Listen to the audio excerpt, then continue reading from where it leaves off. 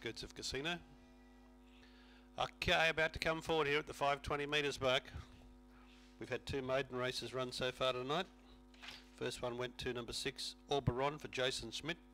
Started favourite, and the second one went to Ken of Sprite, number one for Michael Brower, paid $10.30. Oberon, when I say started favourite, was a wide open race, paid $4.60. Might have ended up second favourite, but it was right there, right through the betting. Forward they come. Ready now for the third. All bets are locked in because the green light's on.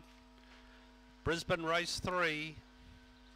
Racing, Avid Lad only average away. Gotcha racing began fast. Rosabelle punching up to second. Brother Glenn got through into third placing, but hooked a little bit wide going out of the straight. In fact, very wide.